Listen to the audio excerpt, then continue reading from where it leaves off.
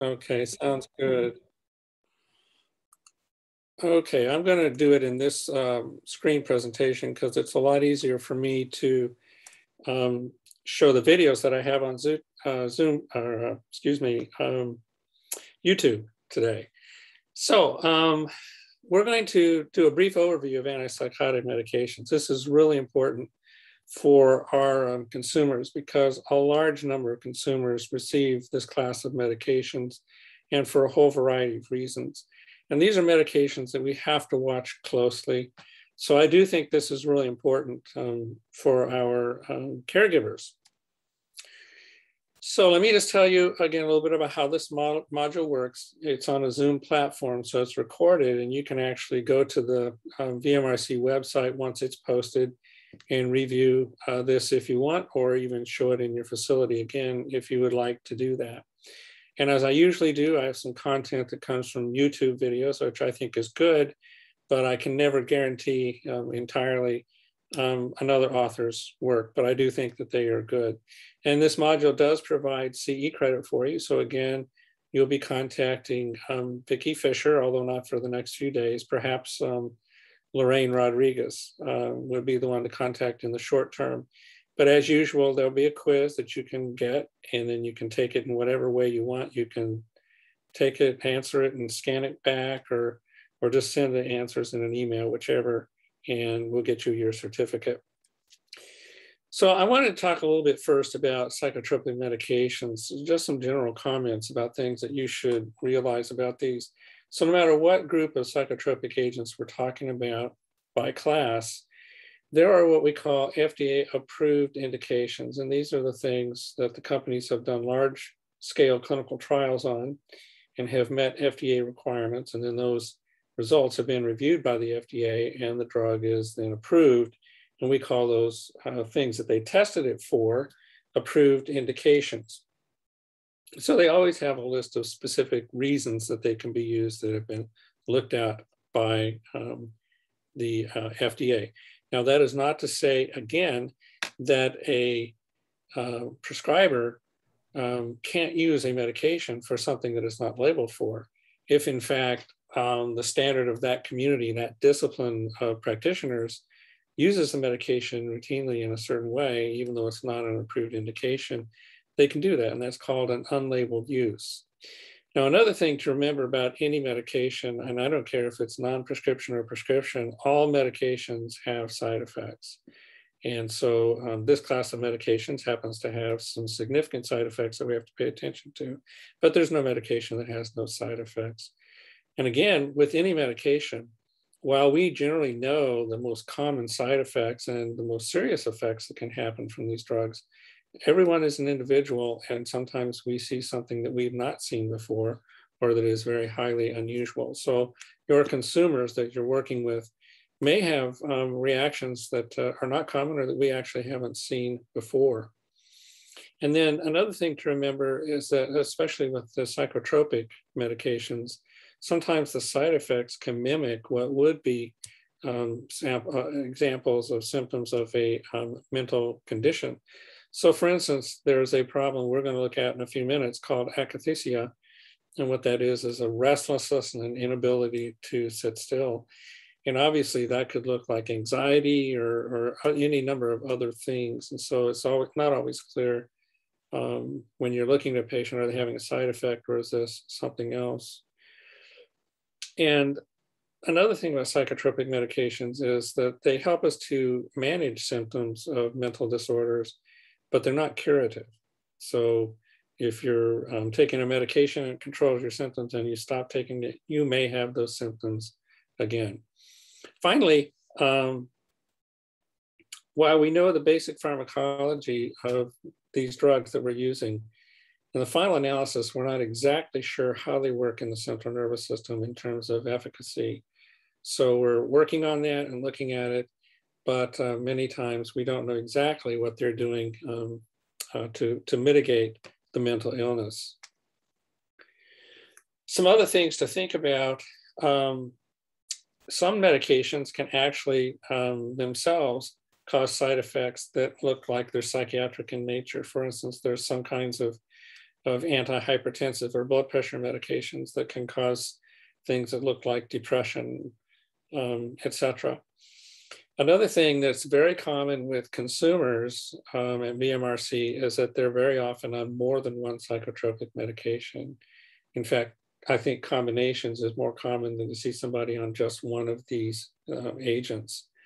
Another thing to think about is whether or not your consumer uh, has the freedom to leave your facility or to go out, or if you know they happen to be um, cared for by um, in, in, their own uh, home setting or their own apartment setting or whatever, is that uh, if they are out of um, your purview, then they may get involved with illicit substances that have psychological effects. And so we do have to think about that in some of our consumers.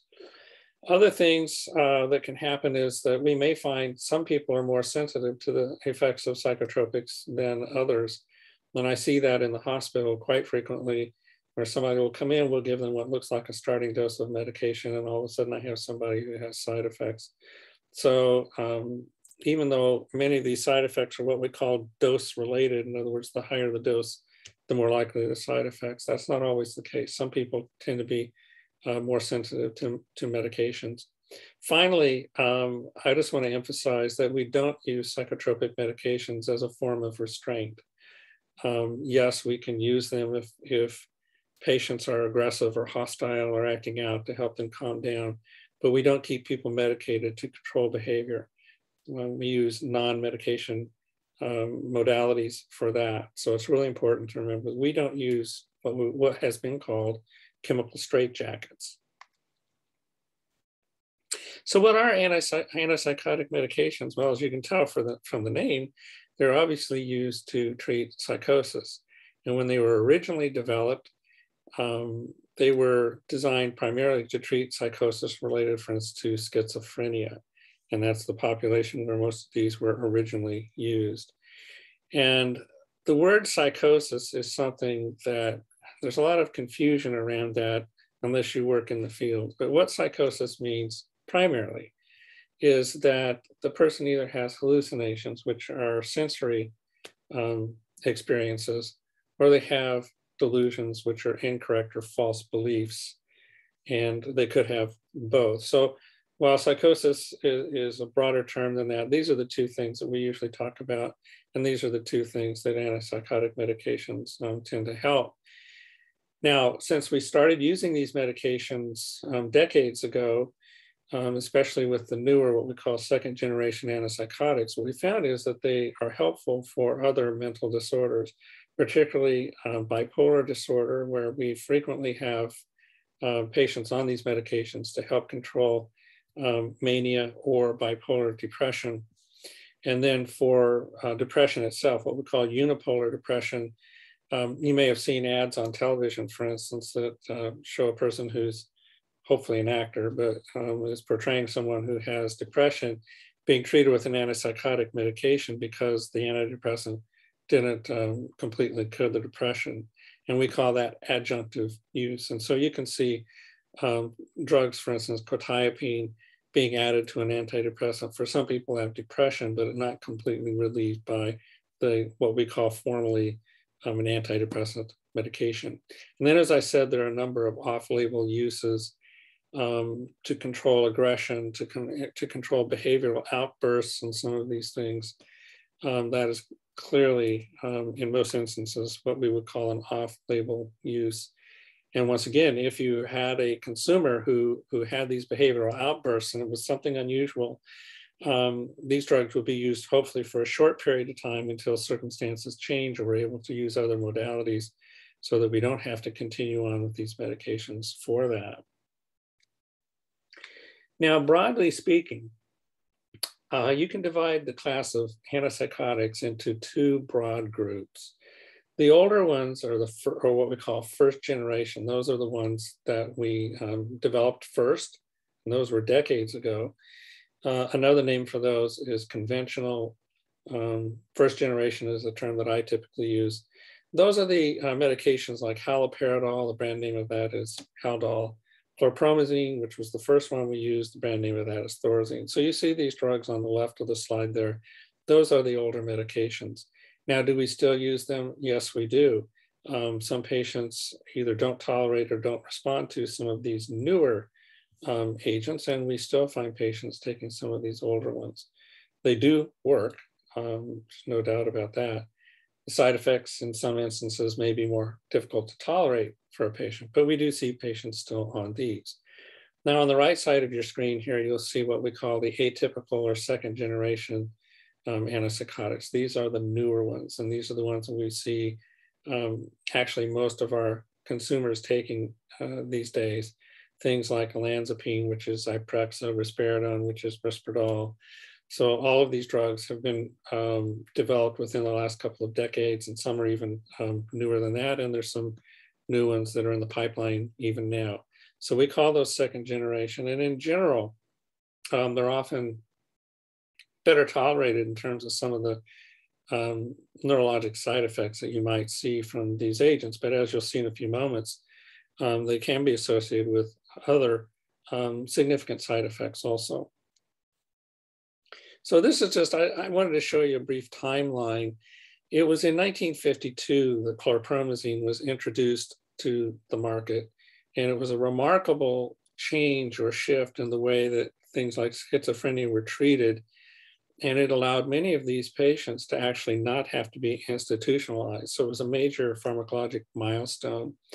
And then a few years later, you started having um, other agents developed. The pharmaceutical chemists and the pharmacologists kept developing things based off that molecular structure. And you ended up having the rest of the what we call first generation antipsychotics develop. Starting in the 1980s, uh, people began looking at, at the drug clozapine and it had seemed to have some different actions uh, compared to first generation drugs, particularly in that it, it helped certain symptoms of schizophrenia, but that we call negative symptoms. And it's uh, clozapine is actually very effective antipsychotic. It's unfortunately associated with some serious blood um, side effects, uh, particularly with white blood cells, uh, that can be problematic. But as that molecule was looked at, then others were developed, and you ended up with drugs like risperidone, olanzapine, quetiapine, and then in the 2000s, a whole host of, of newer second generation antipsychotics. So you can kind of see through, from about the 1950s through today, there's been a gradual shift towards these second generation drugs. So again, just uh, why do we call them first generation? It has not to do only with just their timing, but with the way that they work. They're, they're active against psychosis um, because of their pharmacology on the dopamine um, neurotransmitter system in the brain. And by uh, learning that pharmacology and knowing the structure of that molecule, uh, pharmaceutical chemists and pharmacologists were able to do some modifications and develop some other molecules that um, basically had a sim very similar pharmacologic actions, but then we had a whole host of different uh, agents in, in this class that we could use. So how do they work? Well, the primary mechanism is by blocking dopamine receptors in the brain. And the reason that we think that's important is because it appears that at least the psycho psychotic features um, of uh, schizophrenia involve too much dopamine in certain areas of the brain. And so the, the, uh, these drugs were fairly potent in terms of blocking those dopamine receptors. And what that does is it reduces psychotic um, symptoms, but it's also been shown to help reduce, for instance, mania in bipolar disorder. Now, the problem with these first generation drugs that we began to see fairly early were um, side effects um, that, that we would uh, call movement problems. The uh, name a lot of us use is extrapyramidal side effects has to do with area of the brain that they affect. And that would be, um, for instance, slow, stiff kind of movements, um, slow movements in general, but particularly slow walking. It could even look like Parkinsonism um, at that point. And so those are, are um, typically what we see more commonly with these older agents than we do with some of these newer second generation antipsychotics. Another class of side effects that you've heard me speak of before in these topics um, are what we call anticholinergic side effects. And that means that they're, they also block receptors for the neurotransmitter called acetylcholine. And what that leads to is dry mouth, um, constipation. Those are the two big ones that I see, but they can also cause blurry vision and um, some other things. But that's a common problem with many of these older agents. Now they can also cause problems um, for the cardiovascular system. And you can see that as a reduction in blood pressure, which we call hypotension, but also um, conduction issues in the heart, which is, we're talking about how the electrical impulses are um, sent through the heart to control the way the heart beats and contracts. And they can cause um, arrhythmias um, because of these actions. And then lastly, sedation. Many patients do feel zonked out uh, when they're taking these medications, and that can be unpleasant. So here's a diagram that I was trying to um, explain here. So you have a, on the left side, you have what's called the presynaptic. So that's neuron, that's where the electricity is coming in from the left. It reaches these little sacs here at the edge of the membrane, and those are like um, like frankly, little water balloons that have things in it, little neurotransmitters.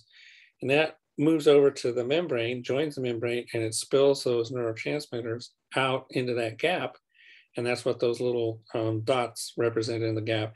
They then come across to the postsynaptic or the other end of that synapse, and they attach to those dopamine receptors. And what happens with antipsychotic medications is they come along and they sit in that receptor and they block the dopamine from binding. And we think that's what results in the therapeutic effect of reducing psychosis.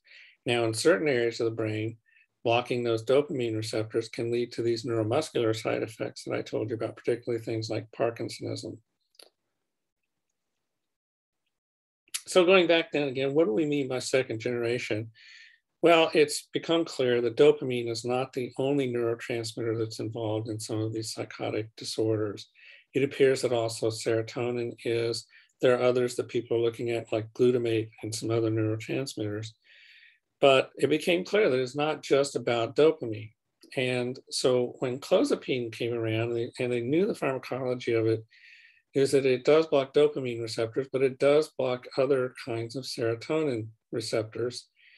And it was thought that that leads to several, um, maybe what we call improvements. So for instance, fewer of these neuromuscular side effects might be related to that impact on the serotonin system.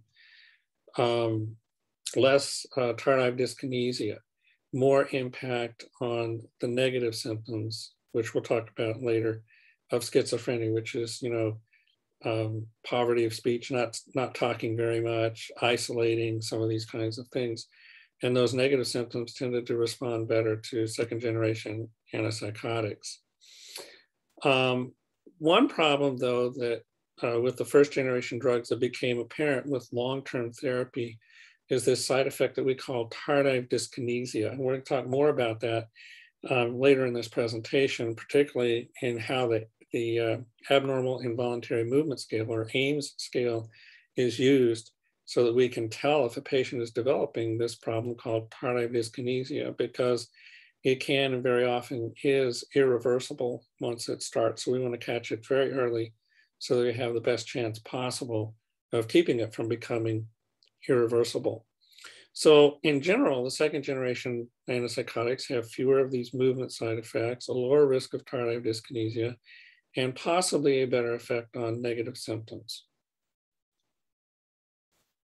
So as it, again, as I said, we use these drugs obviously to treat psychotic disorders like schizophrenia, um, but we use them for other things like bipolar disorder, um, uh, autism spectrum disorder. Also, um, a couple of these medications are um, indicated and FDA approved to treat certain symptoms of, of autistic spectrum disorder, particularly outbursts and those kinds of things.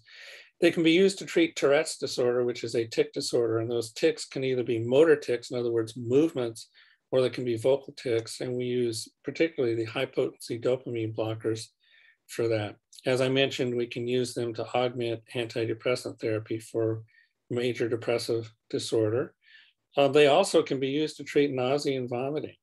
um, they actually, by blocking these dopamine receptors, can reduce the impulse to, to vomit. And finally, um, we can use these also in the acute management of migraine headaches that are not responsive to other medications. Sometimes patients will be given chlorpromazine, usually an injection of chlorpromazine, and that can help with the migraine.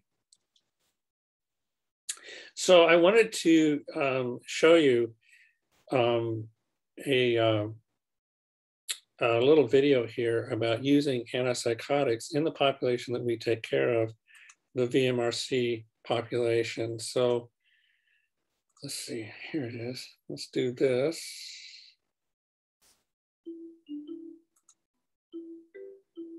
Hello, my name is Rory Sheehan and I'm a psychiatrist and medical researcher at University College London. Together with colleagues, I have conducted a study investigating mental illness, challenging behaviour and psychotropic drug use in people with intellectual disability.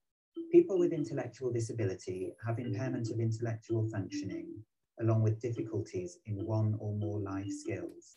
They have an increased risk of developing a wide range of mental disorders including severe mental illnesses such as schizophrenia. People with intellectual disability may also show challenging behaviour. This refers to any behaviour that puts the safety of the person or others at risk or limits their involvement with community activities.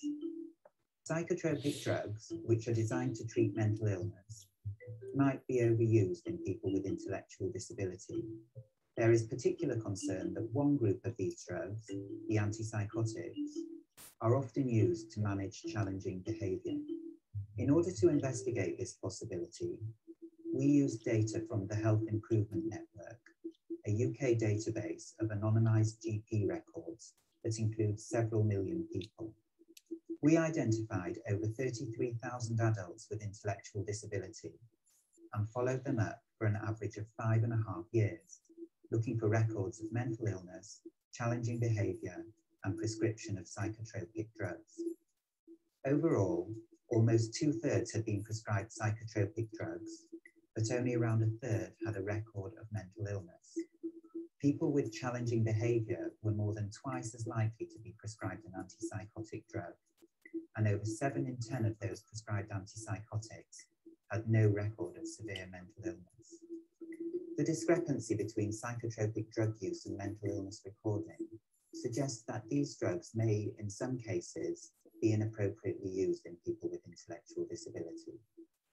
This is concerning as these drugs may cause adverse side effects and they should not be routinely used outside situations in which they have proven benefit. Our results highlight a need for strategies to reduce inappropriate psychotropic prescribing to people with intellectual disability. We believe that ensuring people receive the right treatment can be best achieved through a combination of approaches.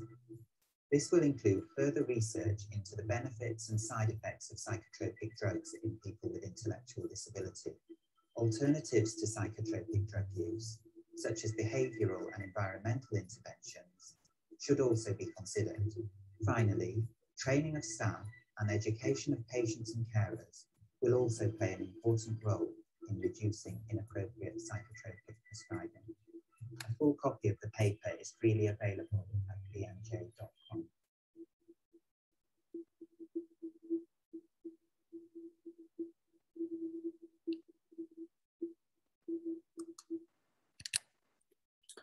Okay, I think that was um, pretty good in terms of giving us an idea of some of the downsides to using these medications in, in these patients who have intellectual disabilities. They do have, um, as I've said, some significant side effects. And when they're used for um, behavioral problems, which they're, they're not really FDA approved for that in most patients, um, we would do that uh, hopefully for short periods, whenever something is causing this, hopefully we'll be able to find out what the trigger is for this behavior and deal with it and then bring them off of these medications. Now, the reality is that in many of our VMRC consumers, that is not the case. They end up um, remaining on these medications for long periods of time. So what are some of the uh, concerns about the using these in the developmentally disabled is that um, psychosis can be seen in, um, in our patient population, our consumers, but it's uh, um, many times not the reason that these medications are being used. Now, uh, one specific instance for autistic spectrum disorder is that um, a couple of these are approved for irritability that's associated with autistic spectrum disorder. It does nothing about curing or resolving the ASD, but it can help with irritability in um, some patients. And as I said, um, they're often used in an unlabeled fashion for aggression and hostility and such things when nothing else really works. And the first step is always behavioral interventions for these kinds of issues with our consumers. But when that doesn't work, clinicians will sometimes go to these medications. Now, one of the things that uh, to keep in mind about consumers is that they, as I said before, they might even be more sensitive to some of the side effects of these medications. And there may also be some um, drug disease interactions. In other words, some things that these medications could cause a problem with. For instance, diabetes. Many of these newer um, second generation agents can uh, cause weight gain. They can cause an increase in fasting blood glucose, changes in serum cholesterol, etc. That could be uh, could interact with cardiac disease or diabetes um, or obesity, those kinds of things. So when we talk about behavioral problems in consumers, this class of medications really is a second line or maybe even a third line um, approach. And we would always want to try behavioral interventions first. So what symptoms usually improve? Obviously psychosis does, but in some patients, the mood may also improve, maybe calm down. They can actually improve depressive symptoms. They might reduce anger outbursts and hostility can improve thought processes. And as I said, in some patients with ASD, they can improve irritability. So some things to keep in mind is that there are common side effects with these agents. For instance, feeling sleepy or sedated, um, becoming constipated or having dry mouth.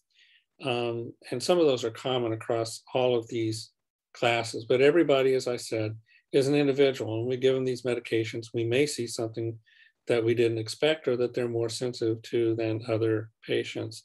So there are some common, which I would think of as really generally not serious. So for instance, if it's mild sleepiness, um, unless it causes them, you know, to fall or to have other problems, I generally don't worry about that too much.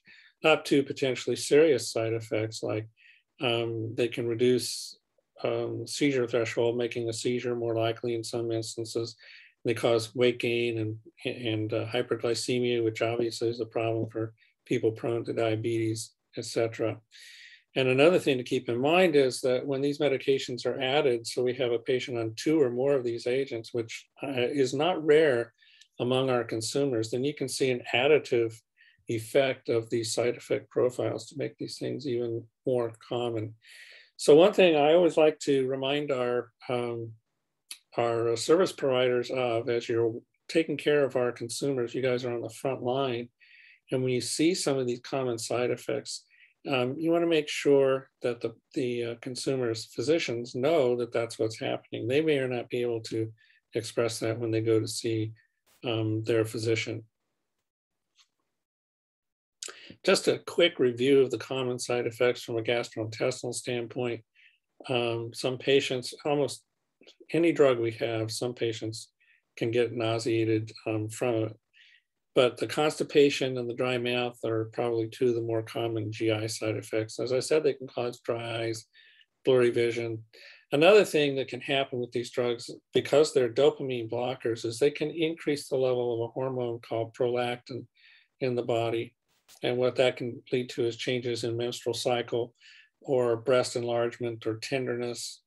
Um, and if that happens, generally we need to um, go ahead and get a serum level for prolactin. And then if we need to, we can change the antipsychotic or, or um, switch it to something that's less likely to cause that. CNS, central nervous system problems, I've already talked about sleepiness, drowsiness, feeling a lack of energy, etc. From a cardiac standpoint, we worry about decreases in blood pressure, particularly if a person is sitting and then they stand up, their pressure can drop and uh, that can cause them to actually fall or have a syncopal episode. Um, and as I said, they can cause changes in the heart rhythm um, also. Uh, obviously, we can see rashes. That's common with any medication. Other problems that you might see um, if we stop them abruptly, there's a, there is what we call a discontinuation syndrome, um, abnormal movements and things that can be seen, and uh, changes in white blood cell count, which is most commonly seen with clozapine. Clozapine is a drug where we have to do blood testing in these patients to make sure that a certain type of white cell called the neutrophil um, doesn't go too low, predisposing them to infections. From a neurologic standpoint, we talked about extrapyramidal side effects, Parkinsonism, akathisia, and I'm going to show you what that looks like in a video in a few moments.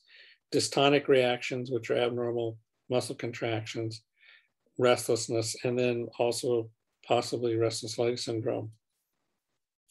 Now, I did want to take a few moments and talk about the metabolic side effects of second generation antipsychotics. Um, weight gain is um, common, especially with some of these medications. They um, have a spectrum of propensity to do this. I'm going to show you that in a few moments, but all of them, uh, even the ones that are, are considered less risky for weight gain, can actually cause it, depending on the person. As I said, everybody's an individual in that respect. They can cause lipid abnormalities or changes in certain cholesterol levels, particularly increasing triglycerides um, and changing um, LDL levels, etc. And then diabetes, as I said, which we think is related to weight gain, but uh, it's more than just weight gain. There's some changes in, in terms of physiology that can lead to the hyperglycemia also. And so the American Diabetes Association and other um, professional um, associations have recommended monitoring. So uh, we want to occasionally look at a patient's fasting blood glucose, their lipid panel, their weight, their body mass index, and waist circumference to see if they are um, having these metabolic abnormalities. This slide shows you in general where the highest risk is. And what you'll see from this is that for weight gain, hyperglycemia or diabetes, or lipid abnormalities, it's roughly the same progression. Olanzapine, clozapine, most likely to cause it. On the other end of the spectrum, ziprasidone, which is Geodon, aripiprazole, which is Abilify, tend to be least likely to cause um, weight gain, hyperglycemia, and lipid changes. So it, it depends on the drug, the propensity. But again, all of them can do it. So all of our patients need to be monitored for, monitored for these things. So um, in terms of how do we avoid it? Well, one is to do the monitoring that we need to do. And also watching appetite. One of the things I talk to patients about in relation to this is to adapt to a uh, healthy lifestyle, which means diet and exercise. So making sure that you're watching what you eat, that you're eating a balanced and healthy diet, and also that you're getting some movement. Now, I know that many of our consumers have problems in terms of getting any kind of exercise at all. Uh, but within their range of possibilities, can they move? Can they get some walking in or something like that? We need to do regular lab assessments, looking at fasting glucose and lipid panels. Um, need to be monitoring blood pressure, and again, as I said, enjoy a healthy lifestyle as much as possible. Now, if problems come up, we can think about inter intervening. We can change the medication or do some other things. One of the newest uh, things people have been doing is using a drug called metformin uh, to mitigate the weight gain seen with some of these drugs, particularly with um, olanzapine. And then there's a new product of olanzapine with a, another drug called samidorphan, which uh, tends to mitigate against this weight gain. So it's something that we recognize and we're trying to do something about. Now, in terms of serious side effects, the things I've kind of mentioned already, decreased white blood cell counts, that's primarily what we see with clozapine, but I've had a consumer who developed a low white blood cell count on quetiapine. and uh, that was seen um, on the drug, it stopped, and when the drug was added again, the white count dropped again. So obviously, that's a person who is sensitive to that side effect. They inc increase your risk of having seizures. There's a problem called neuroleptic malignant syndrome, where you have uh, changes in blood pressure and body temperature and things uh, that can be a very serious um, condition. I personally have not seen uh, neuroleptic malignant syndrome in the patients that I've been working with, um, but it's something that we do keep in the back of our mind when we see, see certain kinds of symptoms. Changes in heart rhythm, um, hyperthermia, particularly in the summertime. If you go out in the sunshine a lot around one of these agents, you, you can overheat. They can precipitate uh, glaucoma, particularly what's called narrow angle glaucoma priapism, which is a um, in men, which is an erection that goes on. Um, I think the the timing is four hours or more, or something like that. But that's can be a, a um, an actually an emergency situation, and diabetes and hyperlipidemia. In terms of neurologic side effects, these are some of the more common ones that I actually see, these extrapyramidal side effects. So for instance, a slowing of the movement, shuffling in the gait, um, stiffness, becoming rigid. Another thing that I've seen that sometimes gets missed is difficulty swallowing because there are muscles in our throat actually that obviously control swallowing things. And these neuromuscular effects can affect those muscles and make swallowing difficult. So you have to watch patients. Um, I've had, uh, in my experience in the last 10 years, I've had a couple patients in the hospital who were started on these medications and then they began to complain at mealtime that they were having trouble swallowing and it turned out to be a side effect of the um, antipsychotic agent. Other things you can see is pill rolling tremor, which is something that you might see with someone with Parkinson's disease, increased muscle tone and cogwheeling, which is where you move their arms and it's kind of like a ratchet. Um, and those kinds of things. Those are all what we consider neuromuscular side effects. I wanted to show you what these look like because uh, again, you're kind of our frontline um, folks. So I think it's important that you be able to um, recognize this. So let me do this.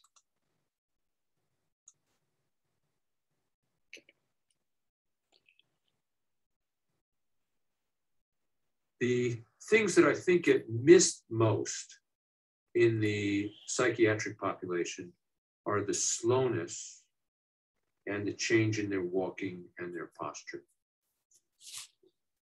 Most schizophrenic patients who are treated with neuroleptics don't have significant walking problems or balance problems, even though you may see that they're a little bit stooped and they don't swing their arms so much. Try not to lose your and they may be a little slow, but it doesn't really interfere with their activities all that much. And in a sense, you can understand it. If their psychosis is under control and the patient's not complaining about something, terrific. You know, leave well enough alone. You know, why rock the boat? But I think there's a lot of Parkinsonism that goes on uh, that's just not recognized.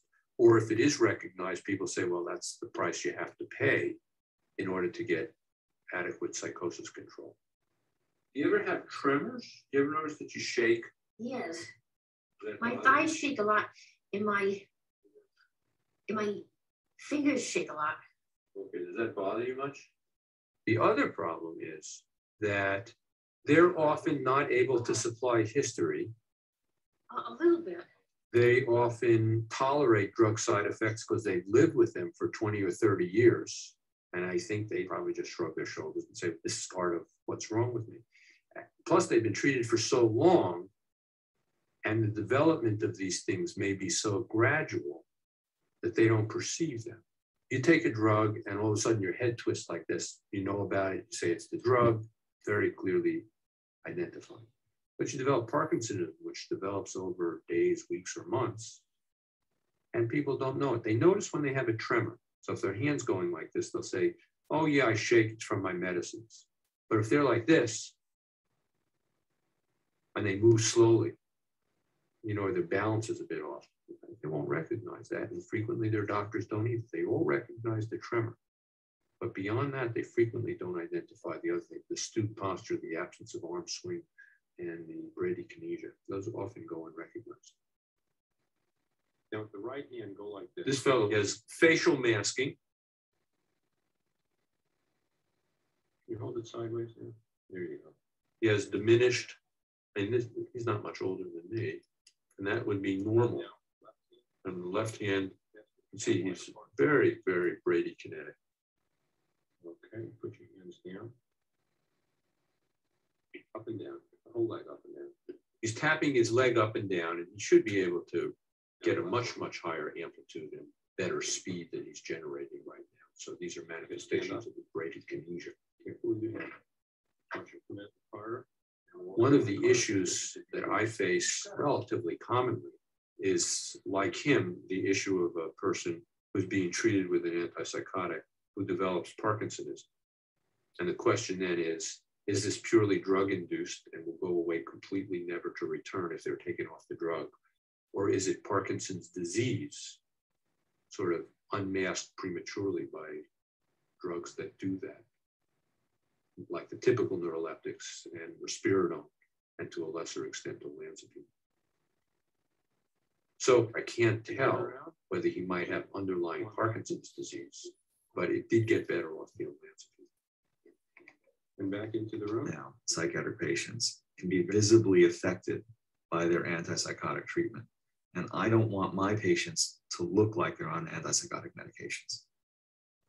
We talked about your concern about the medicines you were on, that you would look medicated in these interviews. Could you tell me about that? What's the concern about that? I am afraid that I'm not expressing a full range of emotions, that I look kind of rigid, that I look kind of medicated, and that people can tell that there's something wrong with me you know, just by observing me. One of the terrible things about EPS is that it brands you as being on medication.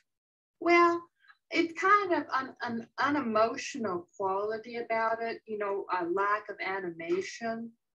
And the meaning of EPS is that they're visibly stigmatized by the side effects of medication. Right.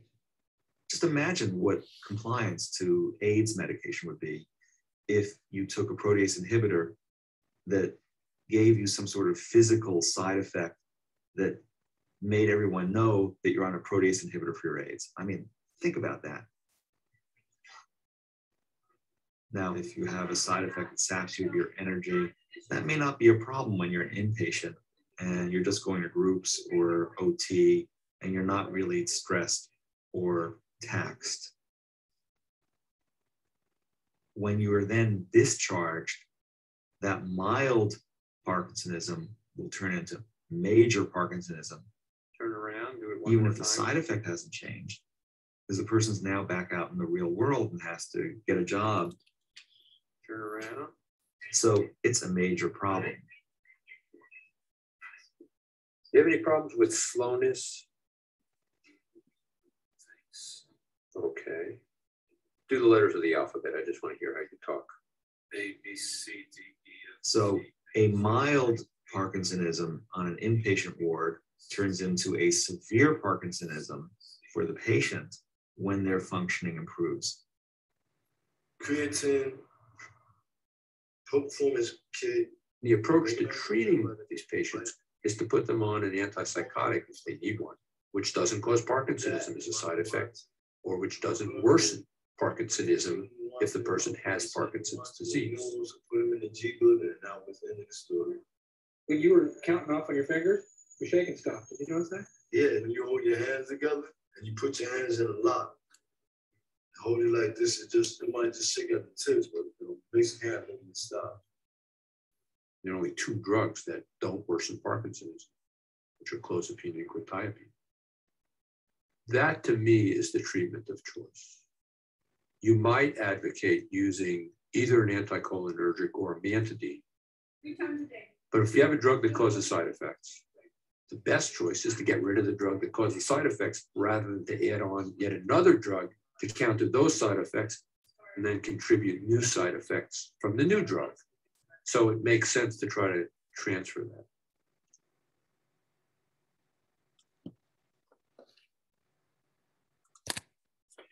Okay, so something I want you to um, particularly notice there when they were showing those patients with the Parkinson type side effects is the slowness of the movement. And that can create a real issue for our consumers or for, for others, patients, when we're giving them these medications. So another problem that I've mentioned already is called akathisia, and that's um, a lot of restlessness and inability to stay still. So you may see them pacing, um, you know, jogging their legs, uh, repeating uh, sitting and standing, sitting and standing. They just basically can't stand still. And it can be severe enough that people have a problem even sleeping. And uh, it's thought that it may even increase the risk of um, serious uh, injury, you know, behavioral issues to yourself and aggression in people um, who have developmental um, disabilities. And it can start as soon as you start the medication or within a few days.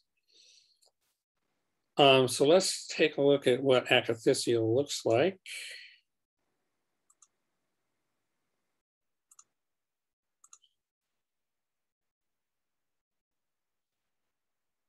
Okay, so notice how he just keeps moving. Okay, he's in constant motion.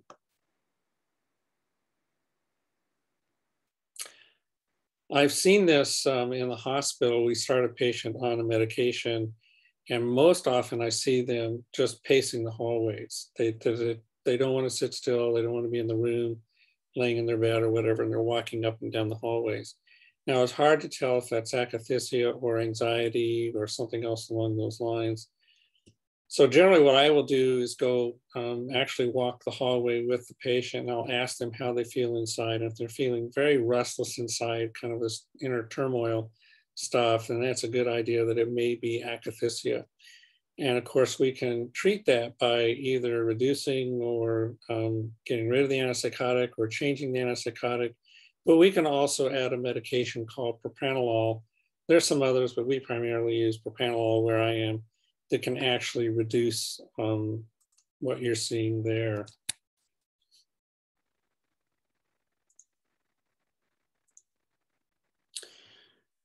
Now, there is another class of, of um, side effects that we call dystonic reactions, and those are basically sustained painful contractions. It's like having a Charlie horse. I think you could see how that would be um, painful. None of us like those kinds of things. So commonly we see like uh, sort of rigid uh, tongue protrusion. You can see the throat um, clamping down, upward deviation or movement of the um, eyeballs. There's a thing called torticollis where you basically are turning and looking over the back of your shoulder. I think where you can see, you can see where that's sustained, that would be um, painful. Often this is something that we see very soon after the medication has been given and it can be dangerous. So for instance, if you did um, have choking, etc., I think you could see how that could be a problem.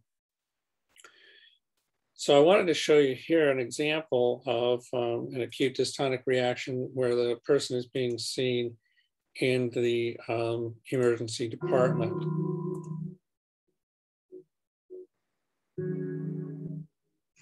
So when, when did you start having trouble talking? Uh, uh, Oh, oh, uh, early this morning? Uh, and did you take any drugs uh, uh, other other than your prescribed drugs? Oh. No, you don't do cocaine or anything like that. Oh. Oh. Oh. No. Okay.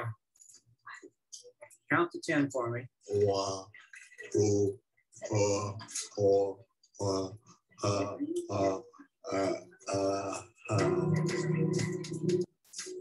okay, that's good.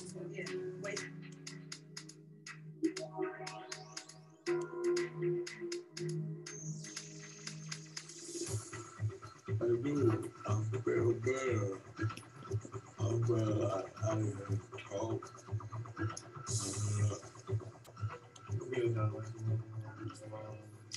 Uh, said I was. Right.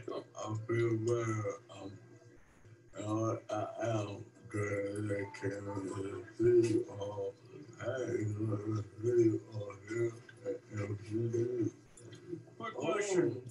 Uh, has, has the, the pupil on this eye, has it been bigger than the, the pupil on your other eye for a while? Oh, uh, yeah, yes, yeah, It has, okay. yeah, okay. But uh, has that ever been, been ever since you had your head injury? Yeah, okay. Still want to spin the head. Let's talk about it. Count to 10 for me now. One, two, three, four, five, six, seven, eight, nine, ten. All right. Oh, no, okay. Hey. Now, now he's now, now he's okay. Yeah. I feel better. I feel better, better. Now, better. your, your voice, your voice isn't perfect, but is this how you normally talk? No. Not yet, not yet. I had to take, I, Yeah, but your speech is still a little slurred. yeah, uh, uh, uh, because I had to take, I had to take, Okay, I, I don't feel better right now. But the doctor said, give me some Benadryl, and the doctor knew exactly what the purpose was. The purpose is, well, the purpose was to give me some Benadryl, and that's what they did for me. Give me some Benadryl. now are you talking back to normal for you? Is this, is, is this how you talk? Yeah. Okay, all right. So you had some traumatic brain injury sometime in the past, is that right? They, they kept my brain. Okay, and so, but you have, you have some uh, psychiatric issues too that you're being treated for. I, I be having um uh uh uh uh I be having flashbacks. flashbacks. Hey, so, you know, you have your, your uh, Right Guard over there and sometimes people actually puff that to get a high on it. What? Yeah, but were, you- were you using the Right Guard at all? No. No, you weren't. I didn't use it for the other. Or deodorant? That's using it like it's supposed to be. Good. Okay, Yeah. well, that's, you're very kind to the rest of us, you know? You, you, Okay, I think you get the idea from that. Um, one thing I want, one point I want to make from that video is uh, we do see these kinds of what are called dystonic reactions in the hospital, uh, particularly when patients are newly started on these um, antipsychotics. And uh, what we do is we do give Benadryl. The generic name is diphenhydramine. And it's remarkable in that you can see these really dramatic side effects and you give them 50 milligrams of Benadryl. We typically in our hospital do it IM intramuscularly. And within just a few minutes, you can see these um, reactions turn around very quickly. So it's fortunate that in many cases we can deal with them. But imagine though, if this happened uh, to this young man when he wasn't in a situation where he could get to the emergency department, if he were you know, especially if something were to happen in his throat. So this is something that we do want to pay careful attention to. Now, the problem that I talked about being a long-term problem, uh, consequence of taking these things for at least six months is something we call tardive dyskinesia. What we mean by dyskinesia is abnormal movements, okay? And this can occur in any um, area of the body.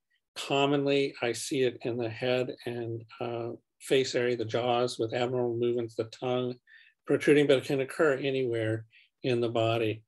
And again, this is something that occurs with long-term therapy. And the problem, the real problem with it is that it can, it can progress and it can become irreversible. And so the things we see is chewing, lip smacking, puffing, uh, blinking of the eyes, these sorts of things. And I'm going to show you um, some pictures of that um, just in a moment so that you'll be able to see um, what it looks like. But the point I want to make, and the reason we're talking about uh, watching our patients for this is so that we can intervene early. So that if you see any consumers who are taking any of these antipsychotic medications and they begin to have abnormal movements, you clearly want to let their prescribers know immediately so that we can intervene early and reduce the likelihood that it becomes irreversible. So let's take a look at tardive dyskinesia.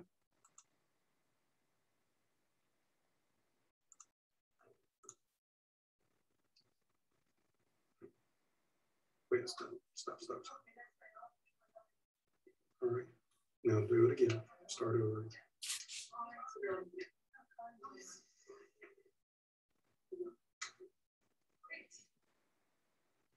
Um, it started a year ago with my tongue jerking it back all the time, but it progressed pretty quickly within about three or four months. So it, it's it's it's gotten worse. Okay. This has gotten worse since I've seen Dr. Truck. Oh, really? Now I have a stutter and one this kind of a more complex set of movements around your mouth, it looks like. Yeah, well, the inside of my mouth right here hurts from my teeth you know, yeah, pretty frustrating problem. Okay. Pretty bad. Okay. And how much eye close? How much problem eye closing? Any of that? No, none of that. Okay. And um, and she does. Has she? Does she? I can remember. I'm, I'm sorry. I'm sorry to get to know your situation. Of course. Just with you. And and her past medical education history, she does have something that right land or something that would be a liability for this sort of problem. -hmm. Gia, no, no. Mm -hmm less something less common with this, but I guess that's why I did see that like tribal stone. But it's not zero. Um, and there's there have been more and more cases reported. Is that right? Zero two? Okay, yeah, yeah. Okay, and they, they do tell you they tell us when we prescribe these medicines that they can't say that it's a zero risk, it's certainly less than the older risk. Well, how much benefit did you get from the from the RT, would you say percent wise? Well, see, we're only starting with half twice a day. Right. And then starting today would have been half three times. Oh, okay. So we're just. So you're just but, getting. But I can tell you that um, the way it's changed my life is that it, it's it's made me able to perform my daily functions. Okay. That's fine. Not not really. The Ativan after just a few days was not sedated, but the effect would wear off after about two and a half hours. So okay. like four in the afternoon, I would have taken three. Okay. Because we didn't want to take more because I was scared to take Right. So then we tried the Klonopin and that only lasted about four days. But for very for first pill that I took, I fell asleep for like five hours. And yeah, I got my neck Yeah, so then I tried taking half um, three times or whatever instead of whole one. Mm-hmm. And I still wasn't perfect. Like I couldn't drive for print and stuff. So I called Bob and asked him to try the art okay. Saturday. And even though we're just still ramping up, I can tell it's been it's it's it's pretty darn effective. I would say that even if dose on that, it's probably 50%. Oh wow. Yeah. Okay, so really so you're less of the involuntary movements and less of the friction on the inside your lips and all that. Well, that's very you encouraging. Know, you know, that, the Ativan was so effective that the movements rarely happen. Okay. But instead of it lasting, say, five hours like the children, after a while, not four weeks or something, the effectiveness was like two and a half hours. Oh, okay. So, so, so and I was, you know, no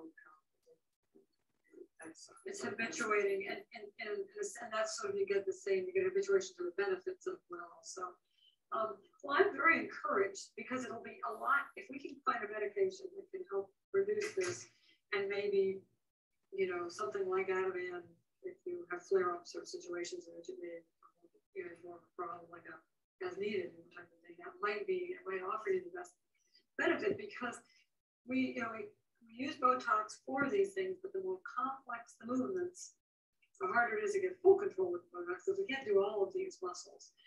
And um, you know, the external facial muscles, it's easy to, to overdo it because you can get drooping on one side of your head and food fall on the. People don't generally like that. And then the opening part, um, we I'm currently trying to work out a plan for taking care of that with someone from the uh, and neck surgery group. Because as Bob may have told you, the person in our department who did injections for the jaw opening is no longer here. And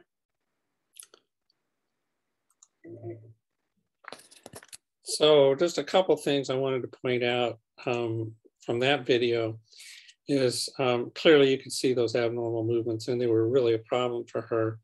Um, but they mentioned medications in there. And a lot of times the medications that we've used in the past have not been very effective for tardive dyskinesia. They mentioned um, Ativan and they mentioned Klonopin. Now those are benzodiazepine medications that may help some patients. And you heard her say that Ativan helped in the beginning, but then it wore off with time. That's not uncommon. Uh, we've tried using the anticholinergic drugs. You heard them mention Artane, and in some patients that can provide some benefit. But there is a new class of medications out there that's available. In fact, they're even advertising them on television now um, that may help um, some patients, and they're specifically given for tardive dyskinesia. On the downside, they are extremely expensive. And so we would have, if we had to give this, we would need to make sure that the insurance company pays for it because they're almost prohibitively expensive.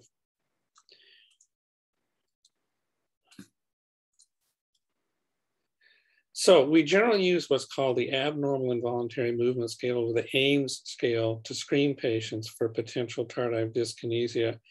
And it can be used periodically and um, should, should be done periodically I'm going to show you a video about how it's done. It's not that I expect you to be able to do the AIMS uh, scale with our consumers, but I'd like for you to understand what we're looking for.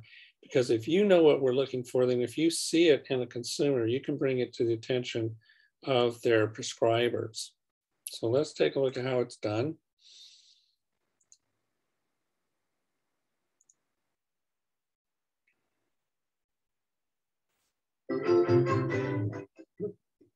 It may be useful to think of the AIMS examination as having two parts, one informal and the other structured.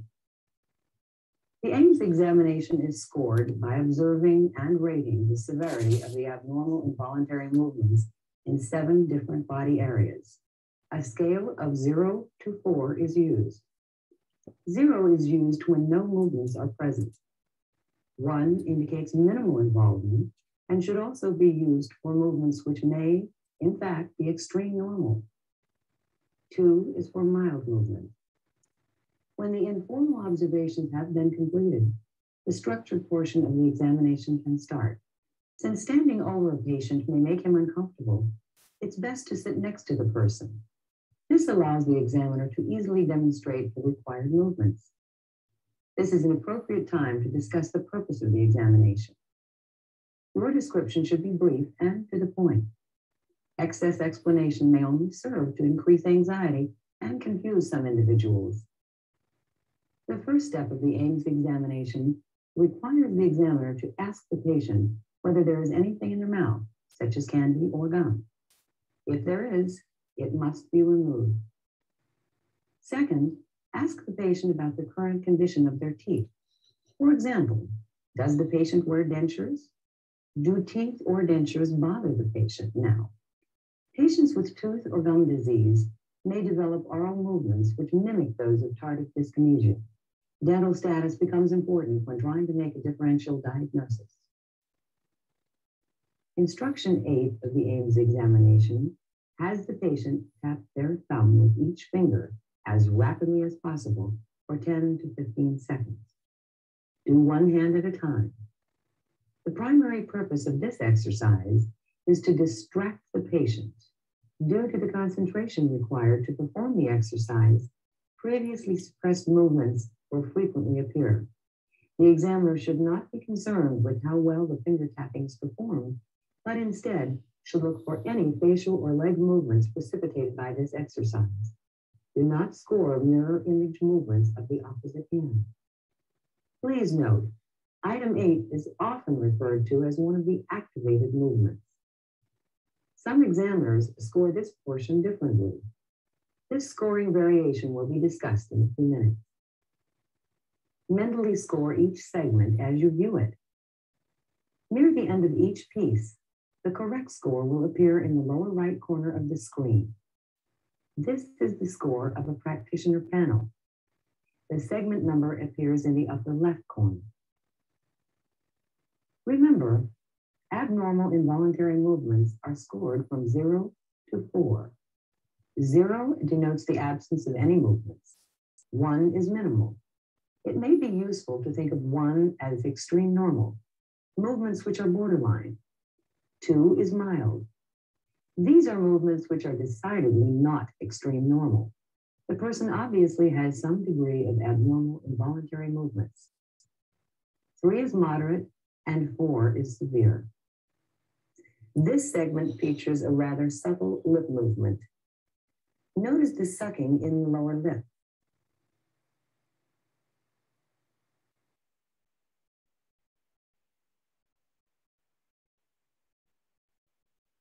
You may think this movement is minimal and give a score of one. This would be too low. Remember, one is used for borderline movements, movement which may actually be extreme normal. This movement is too persistent to be extreme normal and should be scored two.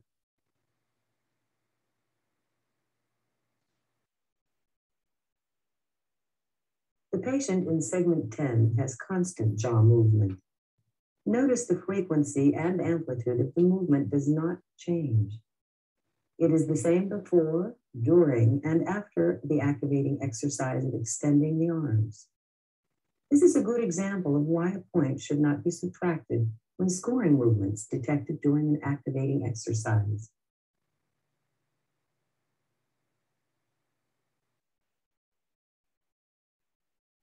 Segment 11 is quite short and will be shown three times. Notice the increased frequency and amplitude of this woman's jaw movements compared to the previous segment.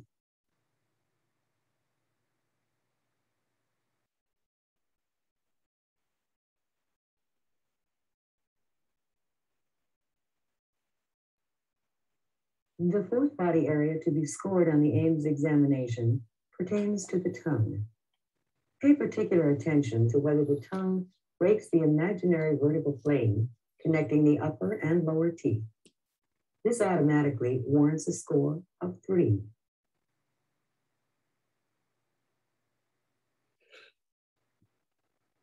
Segment 12 shows a borderline tongue movement. When this man opens his mouth the second time, there is a quick jerk of his tongue. That portion is shown twice.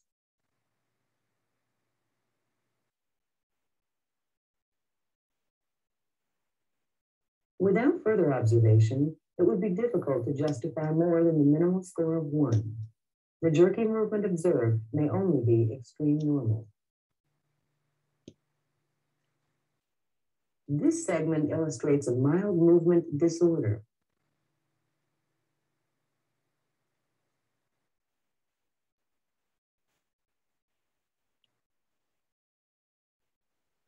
Sufficient movement is observed to rule out extreme normal. This woman is attempting to stick out her tongue. It is not uncommon for patients to have difficulty with this maneuver. A mild movement disorder is obviously present.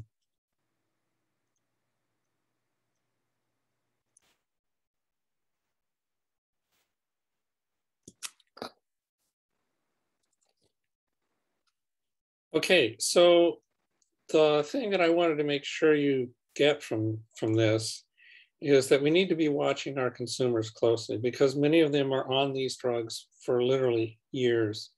And the longer you're on one of these medications, the higher the risk. Now, again, the risk uh, potential differs with medications. And um, uh, some drugs, the second generation antipsychotics, are thought to have a lower risk. But um, um, you saw one patient there just uh, before this video who was taking ziprasidone, the brand name is Geodon, and uh, she had tardive dyskinesia related to that. So any of them can cause this, but this, in general, the second generation drugs have a lower risk potential. Now, how can you help? Okay, well, again, you are the ones who observe our patients. All of these things I've shown you today are things that you can see. Things like weight gain, uh, things like abnormal movements or stiffness or slow walking, slow talking, these what we call Parkinsonian or Parkinsonism side effects. So by knowing that, then you can let the caregivers know so that they can be evaluated. Um, I, I, showed you the AIMS uh, scale and how to do it so that you could see the kinds of things um, that these patients would display. And some of them you may not notice. I mean, a lot of times we don't see people flicking their tongue or whatever. And again, it's really important to let uh, someone know when you're seeing these things so that they can see their prescribers. So that's really it for today. And a quiz is going to be made available to you by email. And all you do is send a, an email requesting the quiz from Vicki, and um, she will send it to you now. She's getting married as you hear, so it's a holiday. So you may want to wait just a little while before you request the quiz. This uh, Zoom recording will be posted on the VMRC website so that you can see it anytime again. So as I said before, you can complete the quiz. You can either um, print it, put your answers on there and scan it and return it by email, or you can simply send an email in with your answers on it. There are five questions. You need to get four right in order to pass and get credit for this. So once again, thank you for attending. If you have any questions, you can email me at pharmacist at vmrc.net and I will get back to you. So I will see you next um, January. We're getting ready to repost our new schedule for 2022. In the meantime, I wish you all a really wonderful holiday season and a happy new year. And I will see you in January.